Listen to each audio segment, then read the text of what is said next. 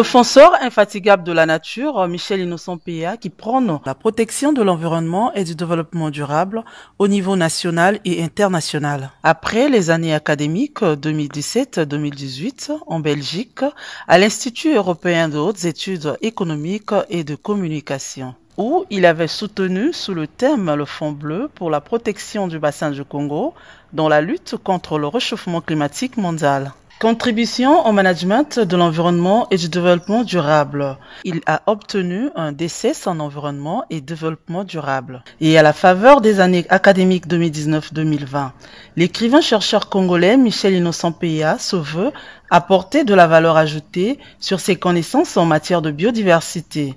Ainsi, il a d'abord soutenu à l'Institut of American aux États-Unis, puis à l'École de commerce de Lyon.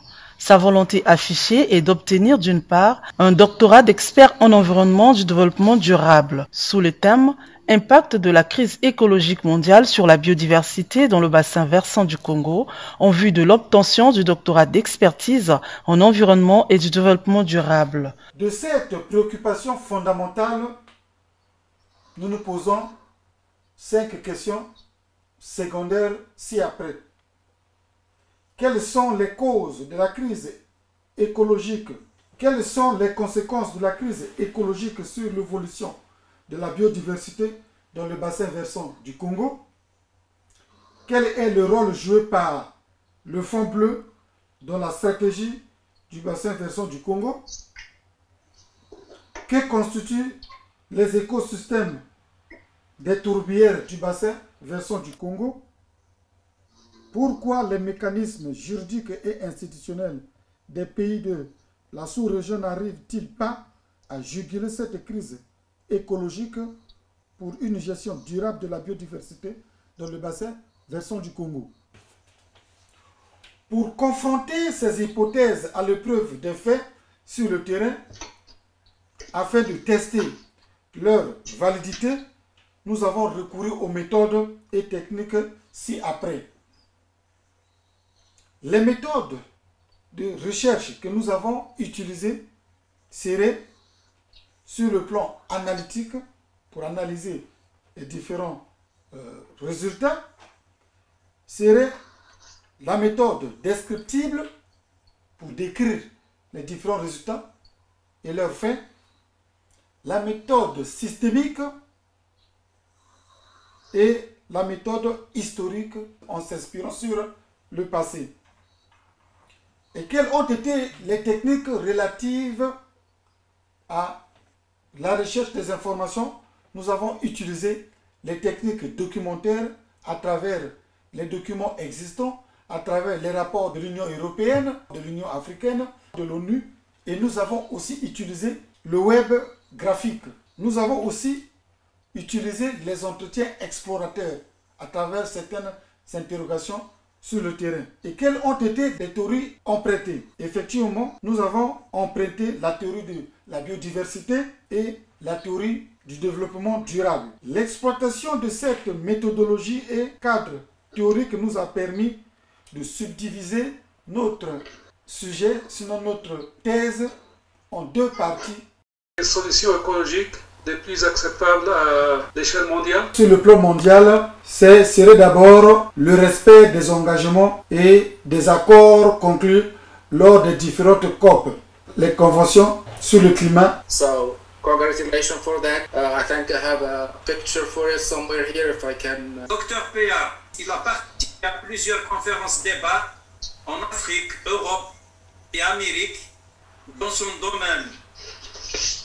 Merci beaucoup. Euh, Doctorat qui confère à Michel Innocent Péa le titre Create Order American of International Experts sous la direction du Dr Stuart, suivi du Dr Belragar, du professeur Ajadou de l'Université de Gelsen et du Dr Bomerdine, expert en logistique. C'est à la suite de ces nombreux échanges avec le personnel de l'ONU pour le changement climatique que Michel Innocent Peya s'est engagé vers cette prestigieuse formation américaine.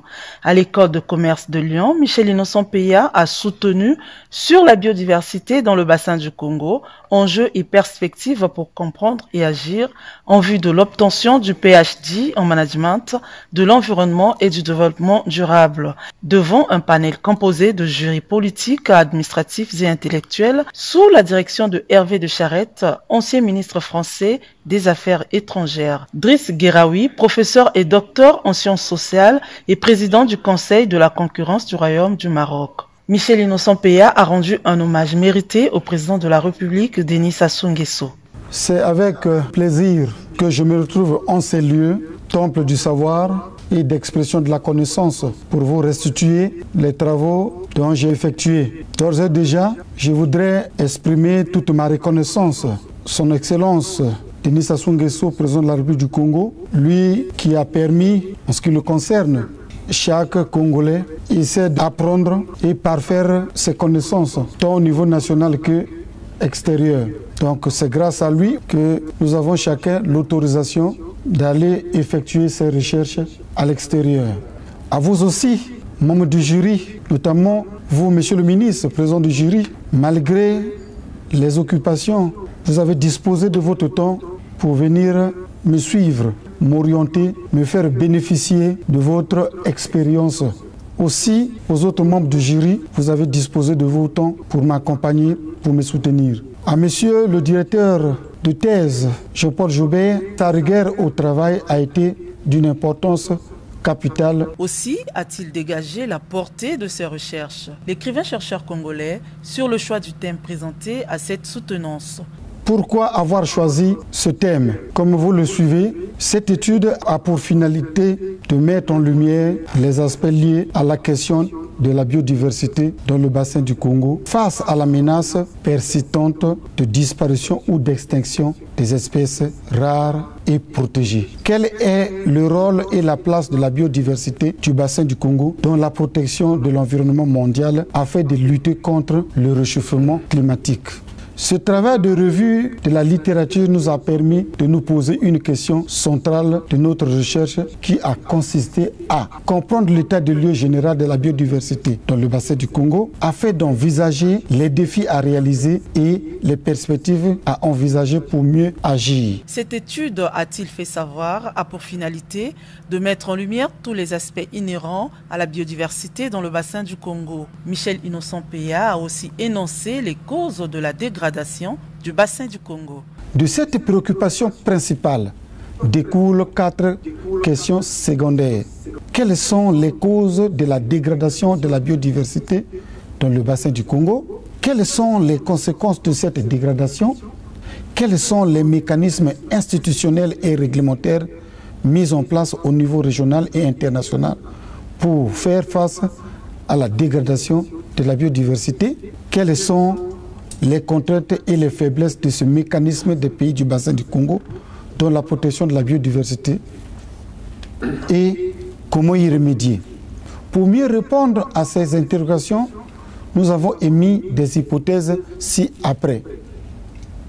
Les causes de la dégradation de la biodiversité dans le bassin du Congo seraient la pauvreté, l'exploitation illégale et abusive des forêts, le braconnage, les incendies, le changement climatique. Aujourd'hui, face à la menace de disparition ou d'extinction des espèces rares et protégées, je voudrais, a-t-il indiqué, exprimer toute ma reconnaissance à son Excellence Denis Sassou président de la République du Congo, lui qui, a-t-il renchéri, a permis à chacun des Congolais d'apprendre et à parfaire ses connaissances tant au niveau national qu'extérieur.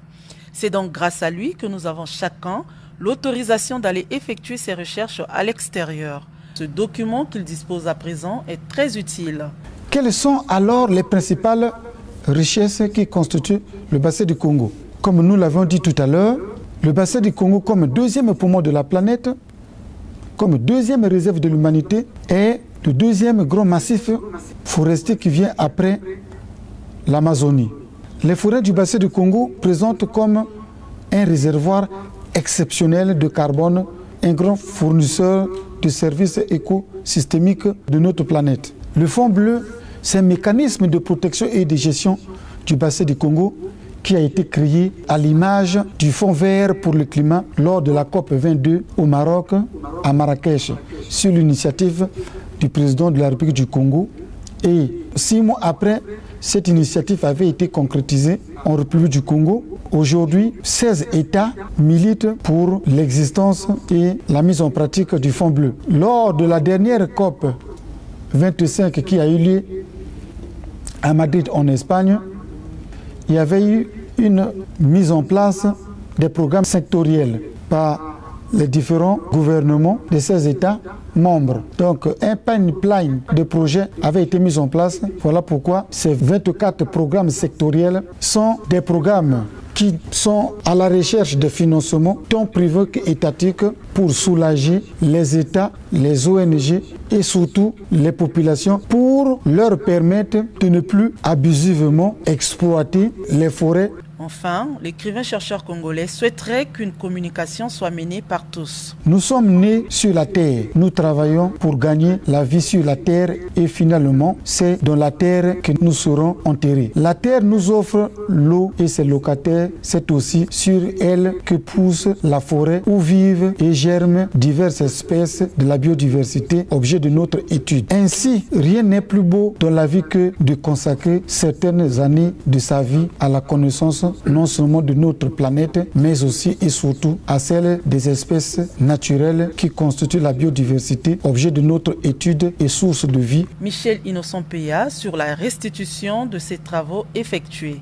Le sujet étant d'une importance capitale, c'est pourquoi nous investissons pour que une attention particulière soit accordée à cette zone pour l'intérêt de l'humanité tout entière. Madame Mougino a émis une inquiétude sur le risque que les tourbières du bassin du Congo représentent. Nous souhaitons qu'une communication internationale soit menée par tous pour que tous les peuples à travers le monde se rendent réellement compte de ce grand danger qui les guette. Et comme je l'ai dit tout à l'heure, il n'y a pas les bombes chimiques qui font peur à l'humanité, mais il y a aussi des bombes naturelles, en l'occurrence les tourbières du bassin du Congo récemment découvertes. Nous souhaitons qu'il y ait l'implication de tous les acteurs à travers le monde pour que nous protégeons cette biodiversité pour l'intérêt de la communauté tout entière. Je crois avoir brièvement et simplement exposé la synthèse de mon étude doctorale selon les us et les coutumes universitaires. Je reste persuadé que cela est approuvé par vous, professeur, dépositaire du savoir universel. À présent, je me mets à votre disposition. Merci encore une fois de plus de votre temps et de votre attention. Je vous remercie. Hervé Diaz, président du groupe de l'école du commerce, reconnaît la pertinence de la thèse de Michel Innocent Péa. Espérons que demain, cet anthropocène porte la durabilité de cette biodiversité qui, évidemment, nous est si précieuse. Donc merci, merci Monsieur le Président pour avoir animé de manière aussi efficace des esprits aussi divergents. et merci Monsieur Peya pour ce travail qui, voyez, a nourri nos intellects. Et merci Professeur Joubert de nous avoir permis cette, cette, production scientifique tout à fait intéressante et prolifique. Merci bien. Hervé de Charette, ancien ministre français des Affaires étrangères, apprécie à sa juste valeur et félicite l'écrivain-chercheur Michel Innocent Péa. Féliciter Monsieur, Monsieur parce que euh, dans la rédaction des documents d'aujourd'hui, un niveau d'excellence pour le, continent tout entier, parce qu'il s'agit de l'équilibre général d'un continent qui est en marche vers son destin. Enfin, euh, c'est déterminant pour la planète et son avenir. Driss Gueraoui encourage le docteur Michel Innocent Péa dans son combat sur la défense de la biodiversité. Et je le dis très objectivement et très sincèrement, vous avez mené ce travail avec sérieux, on le sent, avec loyauté, et la façon dont vous avez présenté prouve effectivement que ce travail a été mené de façon loyale, de façon sérieuse. C'est un travail qui est très bien écrit, et c'est rare aujourd'hui de trouver des thèses qui sont bien exprimées avec un français très maîtrisé que je tiens à marquer mon accord pour sa validation et tout en vous félicitant très sincèrement et très vivement et en vous souhaitant une carrière brillante dans votre pays, le Congo, pays ami et frère de mon pays, le Maroc. Jean-Paul Joubert, euh, professeur émérite des universités, pense que ce document qu'il dispose à présent est très utile. Moi qui ai poussé le candidat à nous faire ce qui est, à mon avis, une magnifique monographie dans laquelle on a à peu près tous les éléments. Peya nous donne une description, elle est extrêmement utile. Ce dialogue, c'est un dialogue collectif. C'est un dialogue évidemment dans la communauté scientifique, mais c'est également un dialogue dans la communauté politique. Selon Yolande Mogino, l'occasion a créé une synergie pour enfin régler cette problématique. Je pense avoir euh, euh, compris euh, quelque chose d'important en vous lisant, notamment en réponse à votre problématique, me semble-t-il, posée initialement. vous évoquez la possibilité de créer une hyperstructure tournant autour du COMIFAC. Je terminerai donc mon intervention en remerciant encore euh, euh, Monsieur Michel Innocent-Peya pour euh, la, somme hein, et le, travail conséquent et, j'ai trouvé très bien rédigé de son travail de thèse.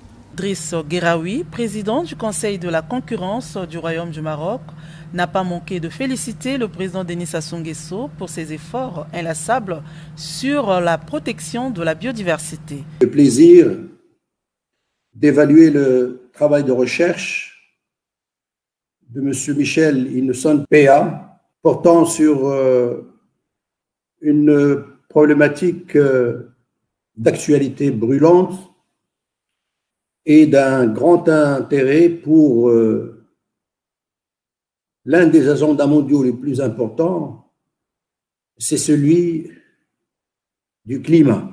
C'est une problématique planétaire au vu de la place particulière et du rôle du bassin du Congo dans la régulation des grands équilibres environnementaux aujourd'hui dans le monde et dans le développement durable plus particulièrement.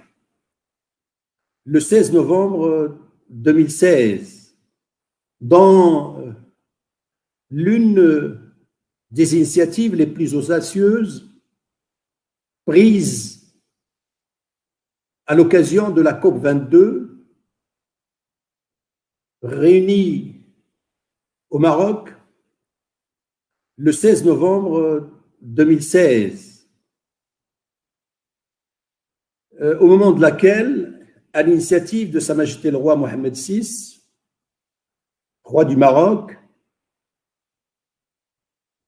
50 États africains ont décidé d'un plan d'action pour le climat et euh, ont décidé de créer trois commissions dédiées aux stratégies futures du continent africain en matière d'atténuation et d'adaptation au changement climatique, une commission dédiée, la commission dédiée au bassin du Congo et euh, dont la coordination a été euh, de la responsabilité coordonnée par Sa Majesté le roi Mohamed VI et dans la présidence pour euh, la commission dédiée au bassin euh, du Congo à son Excellence le président Denis Sassou Nguesso. Et placé donc à ce haut niveau qui est celui des chefs d'État, cela montre à la fois la volonté politique réelle et le degré d'engagement de l'Afrique, notre continent, en matière de climat le bassin du Congo dispose de réserves les plus importantes en matière de patrimoine végétal et animal mondial. L'avantage de cette thèse, outre ces éléments extrêmement importants pour la problématique de la biodiversité, c'est qu'elle euh, a mis en lumière d'autres nouveaux pistes importants mettant l'homme au centre des préoccupations de cet éco-développement futur nécessaire, la nouvelle Afrique à bâtir accorde beaucoup d'importance, c'est celle du rôle du partenariat sud-sud intra-africain dans cette construction future et l'importance tant affirmée par Sa Majesté le Roi, confirmée par la volonté de son Excellence le Président Denis Sassou Nguesso, à savoir que l'Afrique ait confiance en l'Afrique et pour toutes ces raisons réunies, le travail de recherche sanctionné par euh, le PhD, par l'ensemble des membres du jury, mérite toutes les félicitations, en tout cas les miennes, tout en souhaitant au candidat M. Michel Innocent Peya un succès dans sa vie professionnelle au service de ce grand projet et à travers lui au profit de cette nouvelle Afrique appelée à relever les défis de l'avenir et appelé à concrétiser dans le fait un avenir possible pour une Afrique armée par le développement durable et portée par une volonté collective de prospérité partagée et d'un partenariat gagnant-gagnant en phase avec les aspirations et les attentes des peuples africains. Quant au professeur Ziadi, il émet le vœu de voir le bassin du Congo devenir un bien commun. J'ai lu sa thèse avec un grand plaisir et un grand intérêt. Donc il a fait un travail descriptif intéressant. Euh, donc peut-être qu'il faut qu'il continue à travailler là-dessus, euh, travailler sur euh, le financement, sur comment ce fonds bleu puisse s'alimenter au niveau euh, mondial devient un vrai fonds quoi, pour, euh, euh, et que ce bassin devient un bien commun de l'humanité qui intéresse et interpelle toute l'humanité. Hein. donc c'est important ce qu'on a découvert. Et hum, il faut aussi développer l'économie verte, parce que moi je suis spécialiste du développement, donc euh, euh, il faut que ces paysans, ces pêcheurs, les gens qui vivent sur place puissent exploiter positivement euh, ce bassin et ne pas, par exemple, on peut pas dire à quelqu'un il faut pas que tu coupes les branches, il ne faut pas que tu allumes le feu pour euh, faire un espace agricole, il ne faut pas que, donc euh, on ne peut pas, euh, cette population a le droit de se loger, se nourrir, se vêtir, s'éduquer, voilà. Donc il y a tout un travail à faire là-dessus, fond bleu, économie bleue, et comment rendre euh, cet espace un, euh, un, bien commun de l'humanité. Voilà, et euh, il faut que ce soit un, une démarche neutre en dehors de toute politique politicienne euh, qui permet à... parce que euh, les tourbières, ils peuvent euh, éclater un jour, ils font beaucoup de mal. Donc il faut que l'humanité fasse attention. Une thèse très riche, hein, de 400 pages quasiment, et qui prend aussi le risque de s'exposer au monde académique et au monde universitaire, puisque vous avez vu, on avait un jury pluriel, nous avons eu donc l'ancien ministre des Affaires étrangères français, donc Hervé de Charette, qui présidait ce jury, mais qui est juriste, mais également ancien président d'HEC, enfin major d'HEC. Nous avons eu euh, donc une scientifique euh, biotechnologique. Nous avions euh, un directeur de recherche, donc nous avions un panel de jury qui était très éclectique et c'est une vraie prise de risque qu'a fait Michel Nessampeya de proposer sa thèse, donc de travailler dans un cadre organisé de recherche, parce que Faire une thèse, ce n'est pas écrire un bouquin. C'est-à-dire qu'on on expose une méthodologie pour cela qui est très contraignante.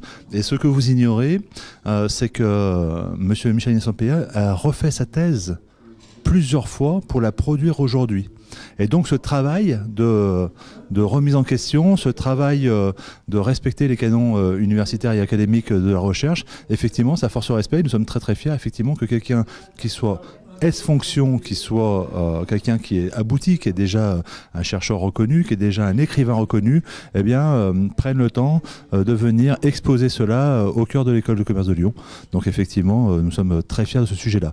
Mais encore une fois, je vous dis, je sépare la personne de M. Michel Insompeya, qui avait déjà une distinction par la qualité de ses travaux, notamment littéraires, mais également politiques et autres, du chercheur, c'est-à-dire du doctorant, qui a présenté une thèse en PhD euh, dans la thématique du développement durable. Et donc de cela, effectivement, nous avons été euh, très honorés euh, de recevoir cette, cette thèse aujourd'hui. Loin des, des grands discours, il nous donne un document de travail qui est je crois qu'il va être très utile. Je voulais juste revenir sur le travail conséquent et saluer en fait l'ampleur du travail réalisé par euh, Michel Innocent-Peya euh, concernant la biodiversité du bassin du Congo, nous avoir montré les enjeux euh, apporter des notions sur les perspectives hein, par rapport à, ce bassin et à la préservation de, cette ressource qui est la deuxième ressource mondiale au monde, hein, voilà, deuxième ressource mondiale, pardon. Voilà, et l'importance de son travail euh, qui serait nécessaire de communiquer largement de façon internationale et comme je l'avais fait remarquer notamment sur le danger que représente cette chance et ce danger que représentent les tourbières.